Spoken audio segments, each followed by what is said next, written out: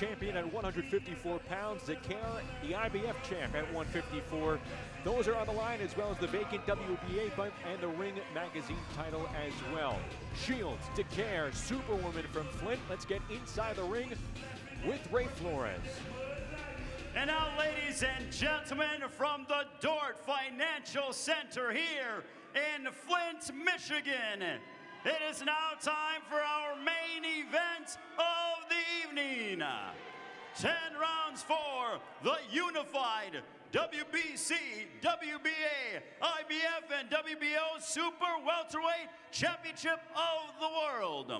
Brought to you by Salita Promotions in association with Groupe Yvon Michel. Sponsored by Bet Online, the Dort Financial Center, and Veggie. Your three judges scoring this World Championship affair at ringside will be Mauro Di Fiore, Perla Rodriguez, and Robin Taylor. And the referee in charge when the bell sounds is Mike Griffin. Introducing first, fighting to my left out of the red corner. She comes in wearing the white trunks with the gold. Her official weight 152.6 pounds. As a professional, she is perfect. 17 bouts, 17 victories. Joining us from St. Eustache, Quebec, Canada. She is the reigning and defending IBF Super Welterweight Champion of the World. Ladies and gentlemen, Madame et Monsieur, please welcome Marie-Eve Dicaire. And across the ring, her opponent fighting out of the blue corner. She comes in adorned in the purple and gold, weighing in officially at 153.6 pounds. As a professional, she too is undefeated. 10 wins, two of those coming by way of knockout. This two-time Olympic gold medalist joins us and represents Flint, Michigan. She is the former super middleweight, former undisputed middleweight champion of the world. And she is the reigning and defending WBC and WBO super welterweight champion of the world. Tonight, she looks to make history by becoming the first fighter to become an undisputed champion in two divisions. Ladies and gentlemen, please welcome Claressa T-Rex Shields. Your referee in charge here to give instructions is Mike Griffin. Okay, ladies, I gave you my instructions in the dressing room. Obey my commands. Protect yourselves at all times. Touch gloves now. You're boxing the bell. God bless you both.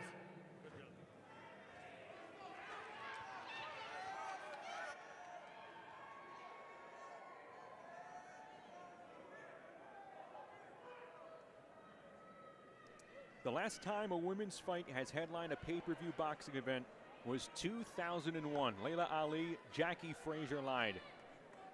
It's rained a couple of times. Claressa Shields, Marie-Eve Dicaire picking up the legacy here in Flint for all the hardware at 154 pounds.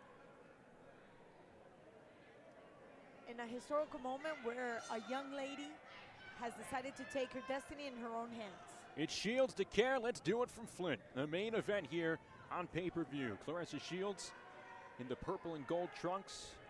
Dicaire in the white and gold. And this is just the second southpaw that Claressa Shields has faced in her career, the first since Sydney LeBlanc in her third pro fight.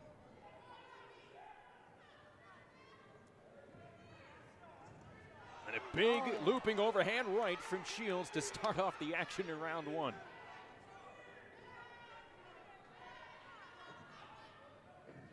One of the things that Marie-Eve said was how loose she was walking into this fight because she has absolutely nothing to lose. She's had belts, she's had world championships. At this point in time, she understands the risk, and compared to what she's going to get, recognition, respect.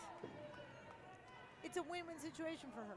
Big snap counter from Shields, who said that last performance against Ivana Habazin was the sharpest she felt in her career, and she rattles Dicaire just a bit with two hands as she stumbles back on her heels. Everything from the edge of the ropes to the middle of the ring now here. And Dicaire taking a lot of pride on her movement inside the ring. She eats a right hand from Shields.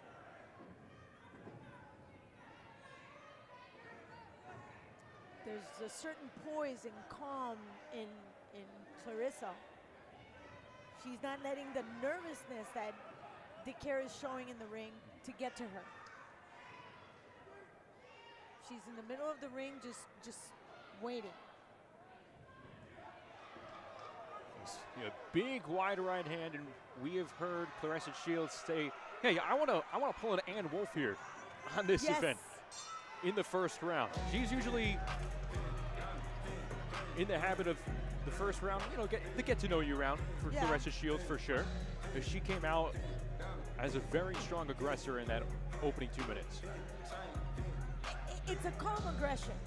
As you can see, she was not really looking for the care until she actually had her within her range. So she's being very, she's conserving energy. She's not just throwing punches. She understands that this is this could be a long haul. Marie-Eve Dicaire, 34 years of age, and she picked up a unanimous decision victory in November of 2019 against Ogleidis Suarez. Ranked welterweight out of Venezuela, lost just one round across the judges' scorecards in that matchup.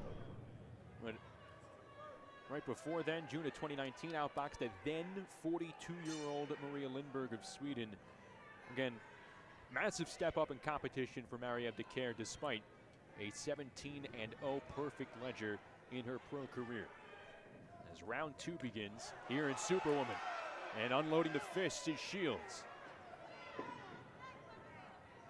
You can see the razor focus on Claressa Shields' face. She she's she has that jab right in front of her. You see, it's a very short jab, just short enough and fast enough. Dicaire trying to find an opening without getting smacked on a counter here. What do you think of the jumpiness and how she's moving around? It can be a combination of nervousness and the fact that she just wants to stay nimble on her toes. Remember, at this point in time, because she is a southpaw, there's a danger that Claressa could step on her foot and then avoid her mobility, and it's exactly what Just happened, happened. to Minik. Yeah. And that comes from martial arts as well. Always on your toes. And Marie-Eve Dicaire, a decorated black belt in karate, started karate at age six, became a black belt at 11, a fifth degree black belt here, and she realized karate was not an Olympic sport, so it was either taekwondo or boxing. She said, "Okay, I'll, I'll, I'll give boxing a try. Yeah, see uh, what this, uh, see what this is all about." Let, let's see where this takes me. It's taking her to this unification fight against the self-proclaimed quote. Look at Claressa's footwork. Justin, perfect. That left leg is always on the outside. Perfectly of- placed against the yes, southpaw. Always on the outside of Marie, Marie's uh, guard. And Marie-Eve coming inside there, and she's met by a counter from Shields and another smothering left hand from Claressa Shields.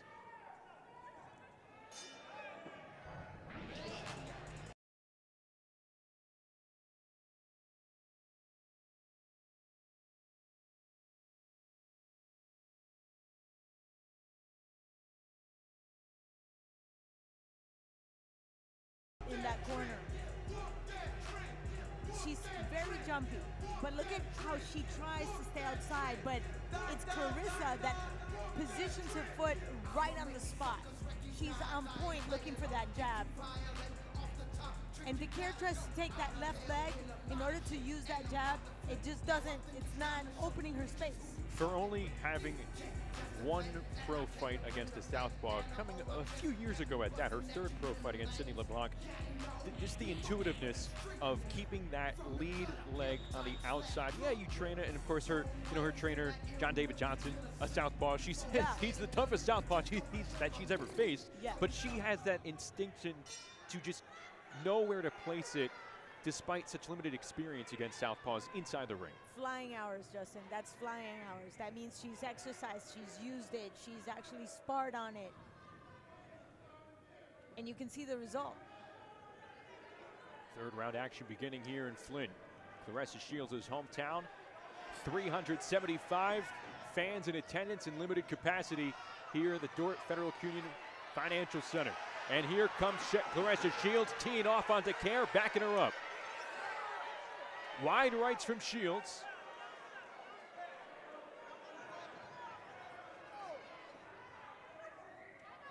Shields looking for a home run trying to make an impression in her hometown and on pay per view.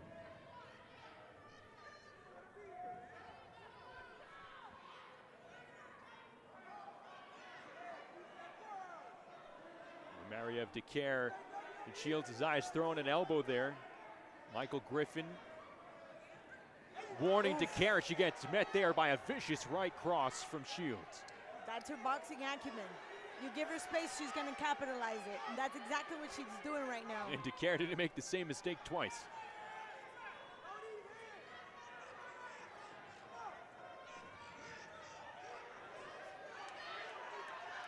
Shields scraping here again with that right hand. They may have butted heads briefly. They work back to the middle of the ring here. This 154 pound unification bout. I have a couple of numbers for you. 1,431 punches against 512.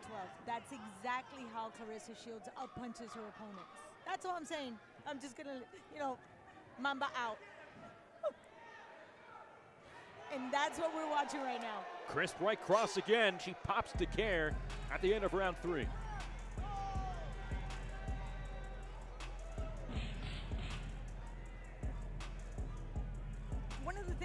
Looking for in Claressa tonight was the leader mentality resulting and reflecting in that ring with ring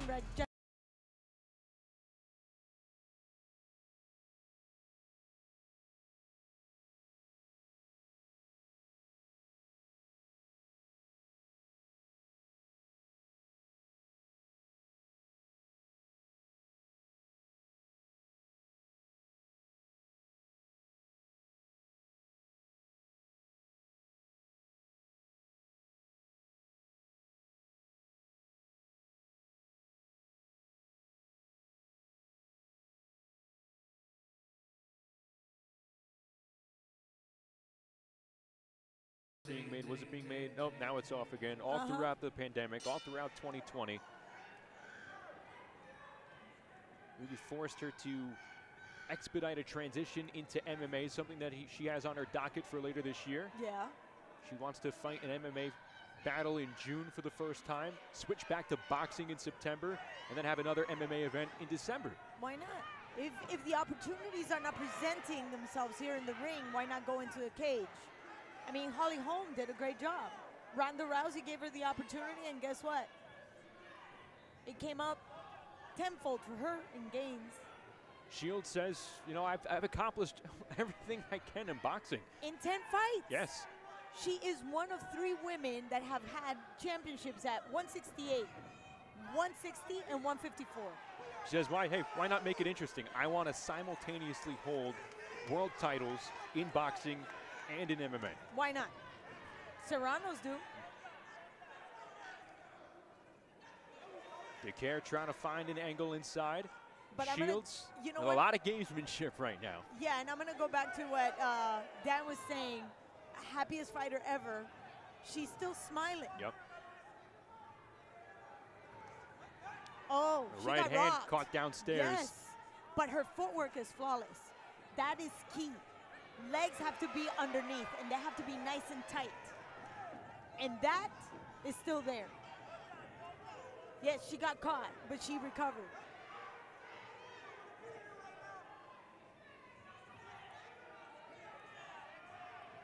Outside from that instance in round three, Dicaire hasn't waded too much as far as in the deep, muddy water. She's been able to high-step her way out of damaging situations for the most part. Yeah, because she realized that if she gives Claressa any time, she'll pay. Oh. And there we have a little showmanship from Dicaire. We have not seen that at all this entire week, the entire lead up to the fight. She but it's triggered in round four. Yes, yes, but she did say that. Do not take my happiness for weakness. Once I walk into the ring, it's a completely different ballgame.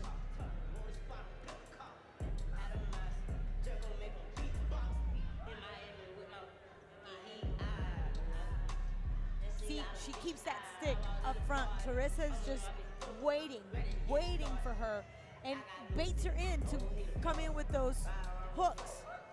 That left hook is coming with all kinds of bad intentions, and I'm waiting for that left hook to connect and see how Marie-Eve is going to take it. Shields landed a fight high 13 punches in round number three, according to CompuBox. In round number four, more of a chess match between the two as far as punches landing, but some juice heading into round five for sure.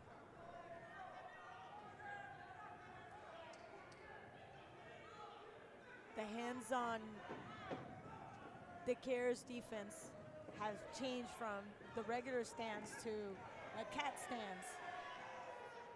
It's, Pause up. yes, call it cat, uh, cat stance.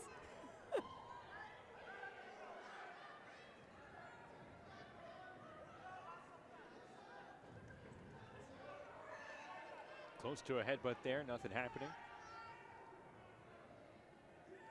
As Claressa Shields tries to navigate through her second southpaw opponent in her pro career. Dangerous footing there from Dicaire as she's able to get out of it. Yeah, but great footing from Claressa. Shortening the distance from the outside just to bring in those short punches.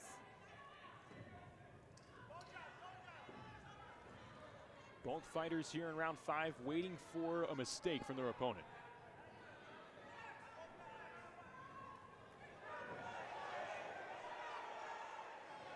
Do you like those overhand rights from Claressa Shields? Yes, and they come with really, really bad intentions, and I'm just waiting for that left one to land. And I want I want to see how the care handles that, because that's why she's shortening the distance with her right leg in the outside just to set up for that left.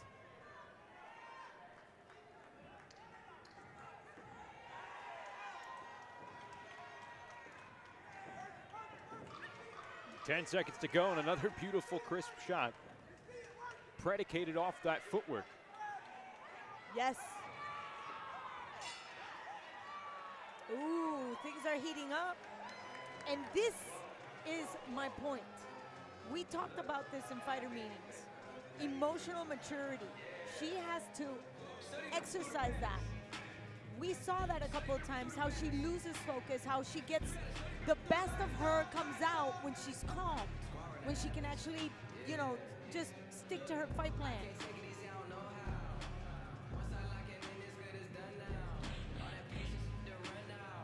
She's just waiting for Dicaire to walk in.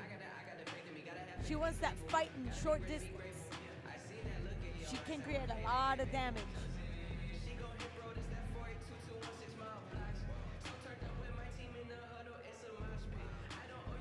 See trainer, John David Jackson, in her corner. As we get ready to go for round number six here in Flint. An all women's pay per view leading to this main event. Claressa Shields, Marie-Eve Dicaire for a chance to unify at 154 pounds. And for Claressa Shields, to be undisputed for a second time as take a look at some of the CompuBox stats here in round number six. Dicaire landing just 17 total punches in the fight. And, and now her jab does not exist. Once she changed that defense stance to pause up, that's very difficult to throw a jab that's going to set up anything. And now Claressa is literally walking her down. A big shot from the left hand by Shields. And that I'm waiting for that one. I'm calling it right now. See how she walks inside? And she's just gonna use that left like it's gonna go out of style. A minute to go here in round six. This is the first long stretch where you could potentially sense that Dicaire could be in trouble here.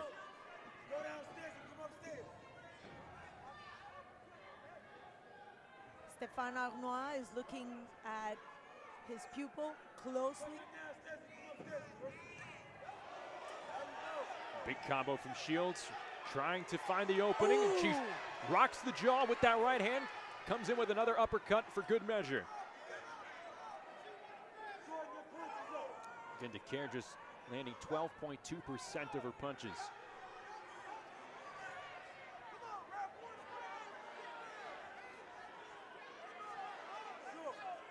This is Dicaire's first match against an undefeated opponent. Underdog for the first time in her career. She relished the opportunity, but Claressa Shields adding the mustard through six rounds with some effective punching against the Canadian. I like the composure.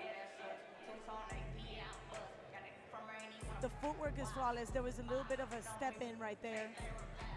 But that right, you said it. It's going so quick. I don't think Dicaire can actually see it. That's three punches in a row. Biggest takeaway so far is that Claressa Shields has elevated that razor sharpness to her punches. I agree. And that comes with the focus, the maturity, and obviously you were to think that it's only on the 10 fights that she's had as a pro, but let's add the amateur acumen that she brings into the ring as a pro.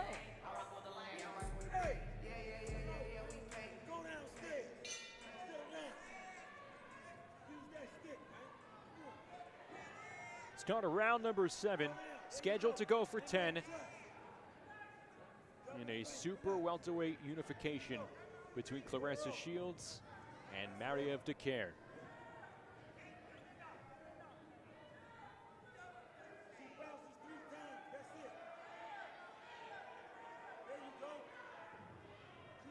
That bouncing, I thought by now she would settle down.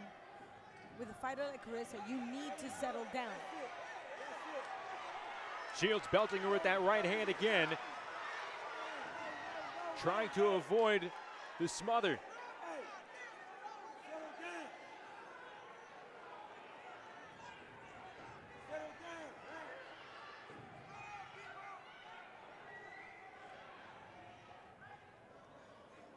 That's one of the things that I really enjoyed about Marlen Esparza. She brought the tempo down and then she brought it up. The, she intensified the, the, the bout when she needed to. And Dicaire hasn't been able to slow Claressa down. She hasn't been able to even adjust her distance. You, you, you mentioned it, you, you were surprised that the jumpity footwork is still here in Yes. round seven. You thought maybe if you got tagged a couple of times, you would have settled down Yes. at this point, but it is still preve- pre- prevalent with Marie-Eve Dicaire here in round number seven. But by now, I think it's being counterproductive because she hasn't been able to sit into any of her punches because she's constantly bouncing. So even if Claressa's actually shortening the distance and she did find the distance, she's too jumpy. She's still bouncing. Closing seconds of round seven.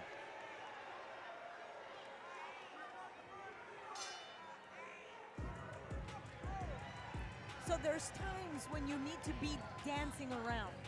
But once you go into the distance, you need to be able to settle down and be able to connect. You can't connect and bounce at the same time.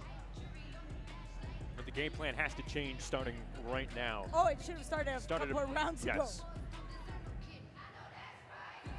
She, she's already playing catch up. And by now, mathematically speaking, It'd be too deep of a hole for her to climb out of for sure. but it'll be a good barometer for the rest of the way. And if this continues, you could walk out of here saying, hey, Mar- Marie-Eve Dicaire maybe not giving herself a chance on this night.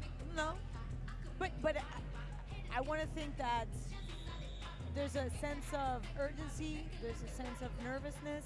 There's a lot at play for Claressa, and she mentioned it that she was just enjoying this opportunity. She's a happy fighter, even though she just munched Right. a nice jab right there. Claressa Shields has said in the past, you know, some of the things like she would want to try and improve upon. Again, just 25 years of old, not rush as much, Mm-hmm. not rush as much, and we've seen her at times getting excited, but she's not losing control in any sense of the word. There's, there, we can see a difference between the shields that faced Hammer and the shields that faced Habazin and the shields we see today. which is impressive because I feel like each time you've seen Claressa Shields now, since getting knocked down by Hanna Gabriels, she has brought it to another level with each battle. She's continued that even with the 14 month layoff. Yes.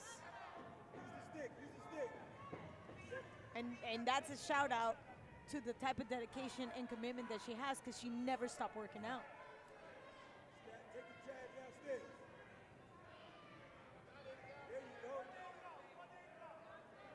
Under a minute to go in round eight. But the tempo, her pace just slowed down for this round.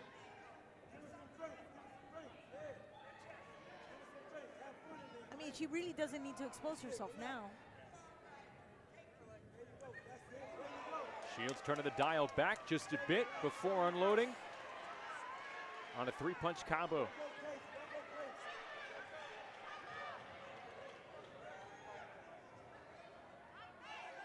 When she's in range, for sure a flurry's coming in.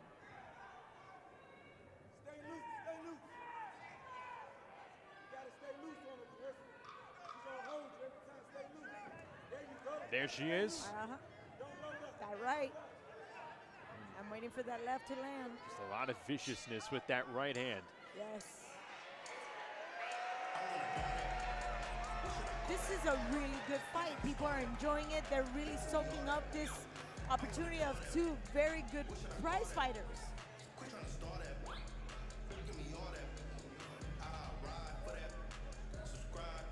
Big prize on the line, the chance to be called undisputed at the end of this one.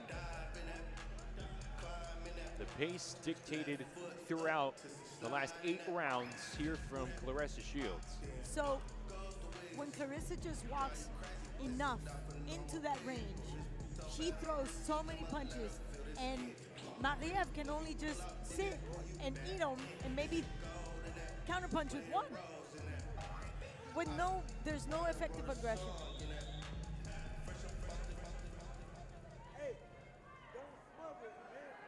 Now, eight rounds in the books on your scorecard. That we do value here. I mean, it's on beautiful stationery here, Claudia. Are we have? Do we have a round for Dicaire at all? No. Round number nine underway. And, and unfortunately, at this point in time, you know, the, the system doesn't allow to express what really happens in the ring.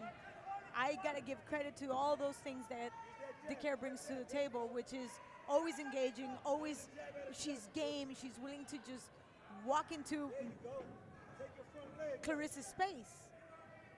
But she's just not effective enough, and I, and I start with the footwork.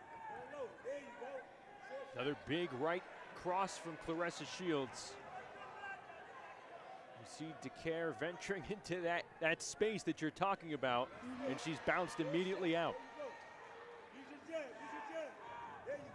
So you're supposed to be in light enough that you can walk in and walk out, but not so light that you cannot just pivot in order to plant and sit in your punch. It's so easy to be said, you know. We can talk about it till we're blue in the face. Go do it. Especially when it's Claressa's punishment coming at you. Good movement, good punch placement from Shields again, making an impact.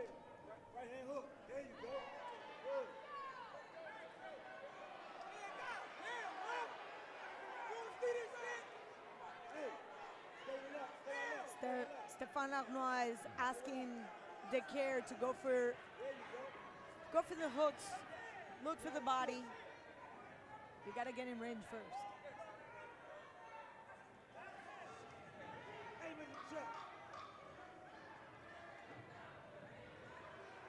Shields turning up the dial in these last few seconds of Yes. round nine. She she sold this round definitely. Started slow and then tighten it up, closing those last 10 seconds. Yeah, you might have thought, you know, Dicaire put forward, her, you know, her, maybe her maybe her best round, I agree. but I still think it was dictated by Shields' pace. I agree that with that too. And we can see it now in the replay. See, she's baiting her in, baiting her in, and then it's Claressa, the one that starts the action. I didn't see the elbow. Did you see the elbow? I did, yes. So this is the second time happening in the same corner. Well, she was called on it. And then, of course, the instructions from the corner are very solid for the care. This is it. And we know what happens next year in round 10. Ladies After and what we've seen in round is 9, the 10th and gonna turn up the volume a little bit. Oh, yeah. to try and close this out here. Final round of this 154 title match. This has been a, a cool atmosphere. Obviously, Yes. limited capacity. This place is able to hold close to 4,500. It would have been a lot more than that. It would have been well over 6,000 with the floor seating here. But again, COVID protocol, state of Michigan allowing 375 people inside here tonight as they watch Flint, Michigan's most decorated athlete in history. And there's a lot to choose from. Yes. Not just in boxing where you have Anthony and Andre Dirrell. Plenty of other multi-sport stars coming through as well. Mark Ingram, Mateen Cleaves, Michigan State basketball great, JaVale McGee. But here, Flint, Michigan, it is Claressa Shields' hometown. And after 10 rounds of going all out, none of them have said or even given a glimpse of any type of exhaustion, tired, dehydration. Zero. Zero. 50 seconds to go in this title fight here on pay-per-view. Claressa Shields, Marie-Eve Dicaire. Left hook from Shields, which was so prominent Wow. in that fight against Ivana Habazin. Not as much here, doing more work with that right cross, but here connecting on some combos in round 10 against Marie-Eve Dicaire. We can definitely see a much more refined technique on Claressa. And we got to give credit to Coach Cooper because that was the intention for the last year. Can we coin it bait and wait? Yes. Bait and wait? Does that work? Yeah. Okay. And her patience today, sitting and capitalizing. winding down. Last few seconds. And those two go the distance here in this welterweight fight. And that is beautiful to see at the end of this title fight and at the end of an unprecedented night for women's boxing. The Claressa Shields running away with this 10 rounder. And, in a in a perfectly fought fight. I mean, technique was there, fight plan, she adhered to everything emotionally, mentally, she was focused. You'd be floored if it wasn't a clean sweep on the scorecards. Uh, yeah. Would you? I would be floored, yes. But And the sad part is that doesn't really reflect on the care's effort and talent. That's right.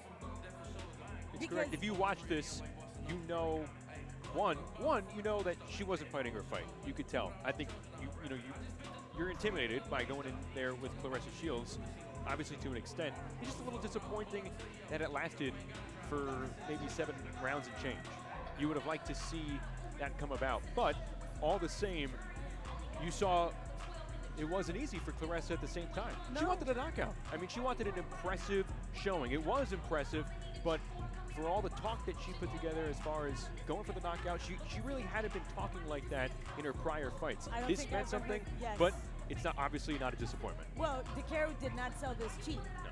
And again, when you're going on a 10-9 system, it doesn't really reflect how much effort Dicaire actually made Claressa put in every single round. I would have liked that ninth round to be repeated from the very beginning of the fight. But of course, it didn't happen. She had to settle in. I'm still, I would still like to see that footwork being a little bit more solid and more stable. Well, all that is waiting for history to become official is our man Ray Flores. Let's go inside the ring, get the finals from Ray. Ladies and gentlemen, having gone the distance, we go to the scorecards. Here are your score totals. Judges Perla Rodriguez, Mauro Di Fiore, and Robin Taylor scored about identical. 100 to 90 for your winner by unanimous decision. Still undefeated, and now the undisputed super welterweight champion of the world from Flint, Michigan, Claressa T-Rex Shields.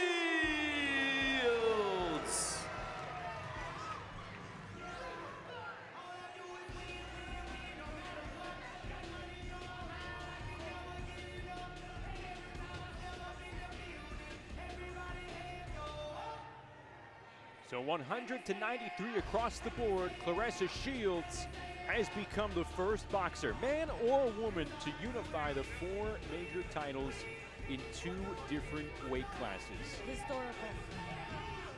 This is a history moment. So soak it up. I'm soaking it up.